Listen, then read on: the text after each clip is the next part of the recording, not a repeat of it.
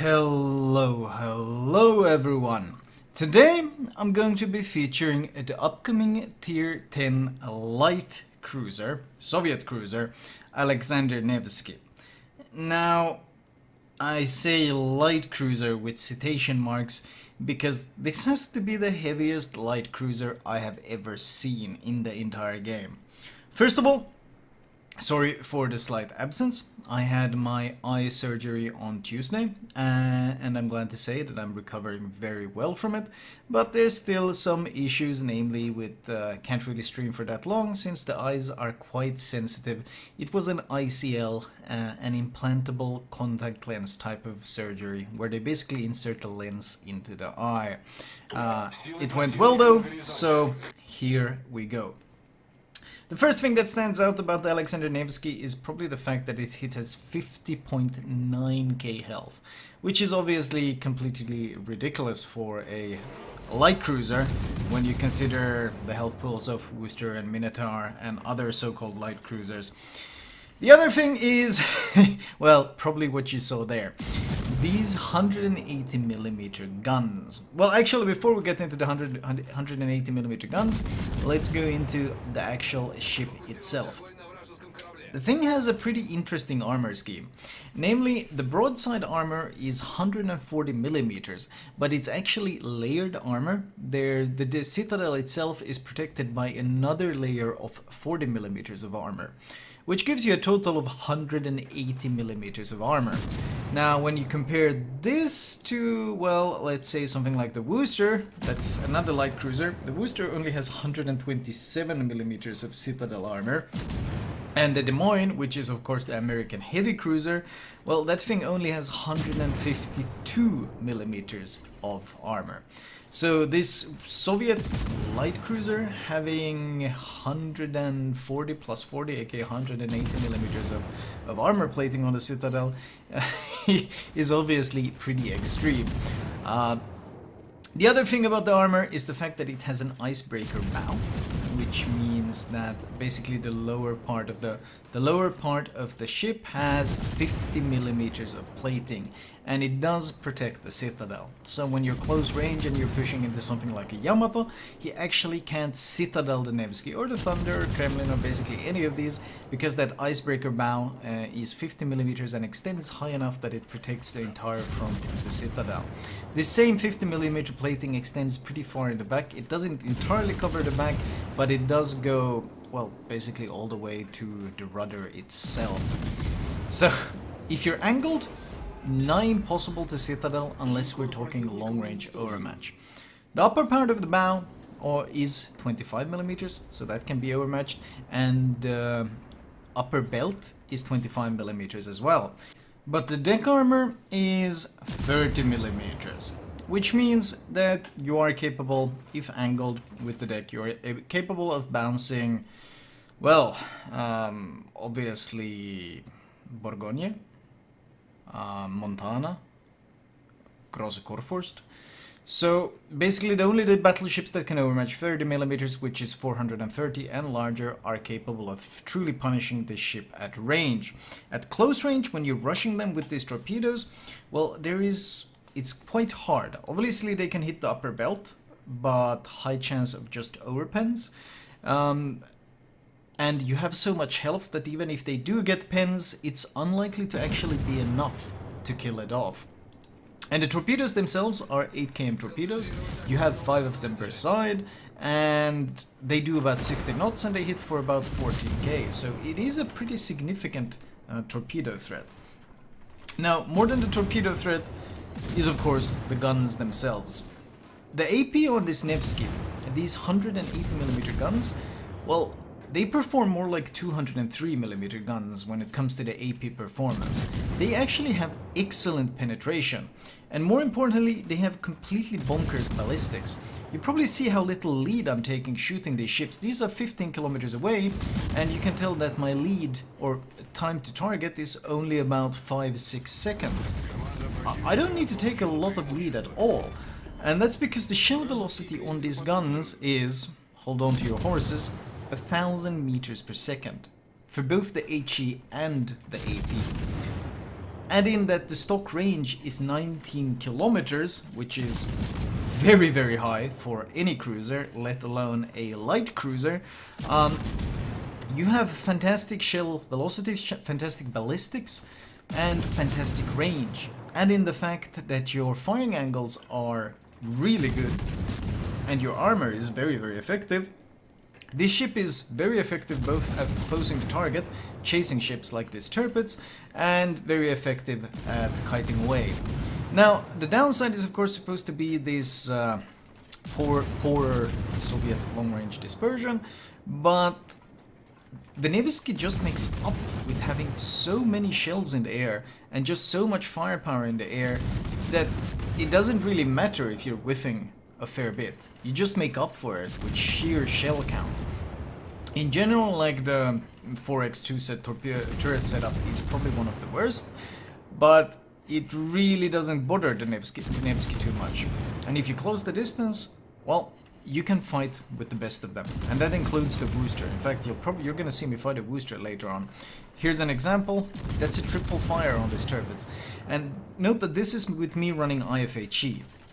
With the build I'm running right now, uh, with Demo Expert IFHE and flags, the thing has a 10.5% fire chance, and it's capable of penning 37 millimeters of plating, which means, well, the majority of battleship plating. There are exceptions, namely Soviet BBs, but especially against cruisers, the HE is brutally effective. Now, I did say it's one of the heaviest light cruisers I have ever seen, and now, I don't only mean the upsides that come with being a light cruiser, which is DPM and um, small size and such things, but also the maneuverability. It maneuvers very much like a heavy cruiser. It does 37.8 knots with the speed flag, but it has a turning circle radius of 940 meters, and running the rudder shift module, it has a rudder shift time of 9.2 seconds, which is pretty far from excellent. In fact, for a light cruiser, that's terrible. That's more along the lines of what you'd expect from a fairly tanky, large, heavy cruiser. The concealment is also not much to brag about either. The base concealment is 12.8. Once again, something more along the lines of a heavy cruiser. Uh, air detectability 8.4. Once again, smoke firing detectability 10 kilometers. These are all values you would actually expect to see on a heavy cruiser. Yet this is supposed to be the light cruiser line, as evidenced by the upper belt being 25 millimeters, just like on all the other light cruisers after the IFHE rework. It does have access to radar. It's a 30 second radar. Uh, I'm running the radar module to boost it to 36 seconds. Uh, it's a 12 km radar, which of course with the 12.8 km uh, concealment is very very effective, especially with the speed. You're pushing in, DD pushes into you, you get spotted, by the time he's turning you can already radar him, and with these railguns you can do a fair bit of damage, but it's you can sometimes be pretty unlucky with landing these shells with the dispersion and another thing that I've been noting a bit lately, maybe it's just me, but I feel like I've been seeing a lot of shells kind of pass through ships. I'm wondering if they're having some server issues. Oh, he's giving broadside. It's a tier 8 heavy cruiser, and he's giving broadside at about 14 kilometers. Oh, he angled in. We switch, we're going to switch back to HE then. With the fast reload, especially with the reload module, you always got the, right ammo for the right situation. This time he's giving broadside, and at this time only at 12 kilometers. And here you get an idea of just the kind of AP capacity this so-called light cruiser can pump out against other cruisers. This thing is brutally powerful. You cannot afford to give this thing broadside. Five citadels and Albemarle is down. Switching to HE for the Harugumo, popping the heal since the Worcester is targeting me. Only landing three shells. The HEDPM, well, it makes up for it with the pure shell count, but the issue is of course that the shell alpha is fairly low. You see situations like that, with the shells just... Where are the hits? Sometimes not getting as hits as many hits as you'd like. The Worcester, however, is pouring far too much damage on me here. Situation like I have been seeing a lot of that lately, where you kind of like you kind of blink and you're like, wait, did did all those shells really miss? Am I seeing things? Regardless though, the Worcester is harassing me, I'm not too bothered, I'm not interested in actually stopping shooting, because of course, just like all other Soviet ships, you can run the best captain in the game on them, and that is Kuznetsov. So if they do manage to get me below, below 5k, Kuznetsov will proc, and now I'm healing and I got a dispersion penalty well, on the enemy ship shooting me, so I know there's basically no chance whatsoever that they will kill me off. I'm still gonna play it safe and stop firing here and just enjoy the Kuznetsov heal while I wait for my own heal to come off cooldown. With the incredible tankiness of the ship and the health pool, making Kuznetsov proc is actually not that difficult. I've only played a couple of games in this ship and I haven't really had too many issues procking it all of these times. I'm kind of pinging my teammates because I'm not very impressed by their positioning. Uh, my, both my tier 10 BBs are on the J line in the, the very depth of our spawn. Uh, meanwhile, the Gearing and I are basically trying to salvage this game. I get a heal off and I'm gonna slow down a bit, see if I can wait for the Worcester to close the distance a bit. He appears to have radared. I'm not sure what actually caught my gearing. My gearing decided to smoke up in front of them, which is very questionable. And he gets killed off. And now we're in some serious trouble. I need to stop the Worcester from pushing it A, so I have to take a fight with him. He's got 37,000 health. I have 12,000. Looks like a poor situation, you'd think. But then you gotta consider that this is not like all other light cruisers. First of all, you, when you land, with the, he's close enough that my accuracy is very, very effective. And second of all, I'm fast, so he has a hard time landing shells on me. My shell velocity is god tier. I have absolutely no issues landing shells on him. And what happens when I actually end up fighting him is, well, he's struggling to hit me because Worcester shells the arcs are so lazy, and I having I'm having absolutely no issues just continually nailing him. And even with IFHE, you see how many fires I have on him? Just an absolute bonfire going on this Worcester. And the 4K Alpha, he disengages, he doesn't want any part of this. He's realizing he's, he's about to lose this fight, and he's about to lose it terribly. I'm slowing down, hoping, hoping, hoping. Maybe he's pushed up. Where has he gone? He's got the huge concealment advantage over me. And I do want to turn around and fight him. Heal comes up. But it looks like he's gone. I do a Desperation Radar. Maybe he's turning within my range. I mean, I, there's no DDs left to radar anyway, so I might as well try to catch him. But the Worcester has smartly disengaged. Oh, and another thing I didn't mention, uh, the Nevsky, besides being able to slot, of course, radar, you can, you can switch between defensive AA and Hydro. And the Nevsky actually appears to have really, really monstrous AA. It's got 6.9 km AA, uh, AA range, that is, and the continuous damage goes all the way up to 4 kilometers, and the flak is from 3.5 to 6.9. And you're throwing out something like, what was it, 8 flak? Um, so you have the potential to be a very, very strong AA ship. That's why I've been running defensive AA, even though I highly recommend Hydro. I've been running defensive AA just so I could see if I could finally get a carrier to fight who would target me and see how well this ship can defend itself. Uh, it seems to be a bit of a theme with this that they have very, very long AA ranges, all of these Soviet uh, ships in comparison to the rest. Donskoy giving broadside, instantly switching to AP. Even at this range, once again, something no other light cruiser in the game would ever do, switch to AP on a ship that's like 17 kilometers away, and the amount of lead I need to take is so very small, it's only an 8.5 second travel time for my shells to reach him. So I know that my shells can catch him. And as you can see, the DPM is very, very effective. He angles away, I am a bit higher. Call target on the Worcester because I know I'm about to kill this guy. I hit him for 3.8k. The Thunderer, however, finishes the Donskoy, the one ship that I can shoot at, while leaving him in a one-on-one -on -one with the Worcester. They are actually very close to winning, so right now my hope is that a Thunderer at least can kill the Worcester. Note that the Worcester could have just ran away. There was actually nothing stopping the Worcester from just completely disengaging and running away, but I'm glad that for once the enemy team has the suicidal guys in well, my team had the fair share of them as well, but when it comes to the end game, the decider, I'm glad that the enemy team has their share of them as well. Overall though, the Nevsky, by far um, the largest, tankiest, hardest hitting light cruiser I have ever seen.